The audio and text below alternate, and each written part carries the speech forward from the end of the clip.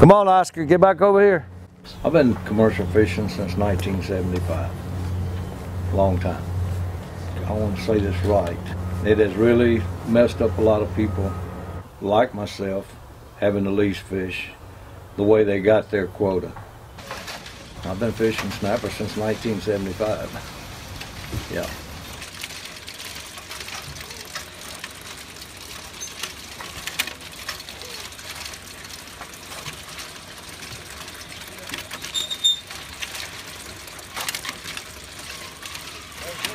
How much did you have to lease last year for your three boats?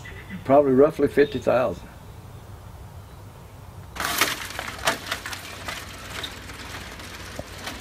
They had a system where the season opened January 1st, everybody had to rush out, they'd catch their quota in, you know, a month, month and a half, prices would collapse. So it was an economic decision. What we didn't realize at the time was the unintended consequences, especially this business of, of um, leasing the shares. That's something that I don't think occurred to any of the council members or any of the NMFS people either. It's just something that evolved. Go ahead and, and wire you the money. You just call me back and tell me you got them, and I'll run to the bank. And I'll put that other check in the mail to you about the grouper. And so, what do you think for these guys who are having to shell out so much money to, to get to fish? I think it's terrible. I think it's terrible and it's abusive of the system that was never intended to result in that. Somehow there has to be a redistribution of, of shares, I would think. So you were just getting some quota right then, huh? Yes, I just went ahead and got a thousand pounds to go with what I got already.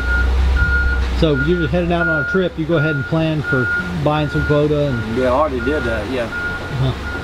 So this three dollars and twenty five cents that's going to these guys. Sitting on their butt doing nothing. and we're doing the work.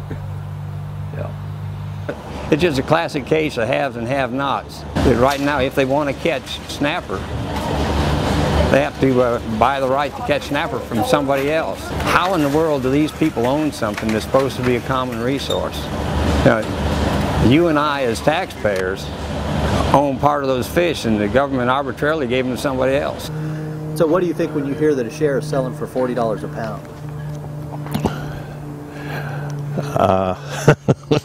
I, I think it's absurd and abusive and uh, a misallocation, a misuse of a public resource. This is a public resource. That we people seem to forget that. If they think they own a share, a pound for forty dollars, that's wrong. It's not theirs. It's it's the nation's. They were gifted. I would love to see somebody get in office to, to just like you're doing, sit down with the paperwork and, and look at this and say, my God, what, what what's going on here, you know? And what would that hundred fifty thousand a year do for you as far as your business and You based on a certain salary that you're living off of and somebody hands you another hundred and fifty thousand a year, what's that gonna do for you? It's, it's gonna make things great.